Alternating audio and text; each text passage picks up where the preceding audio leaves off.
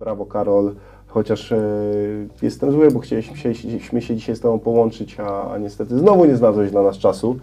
Także mam nadzieję, że, że kibice na Tobie wywiorą presję, żebyś Ty do nas dołączył.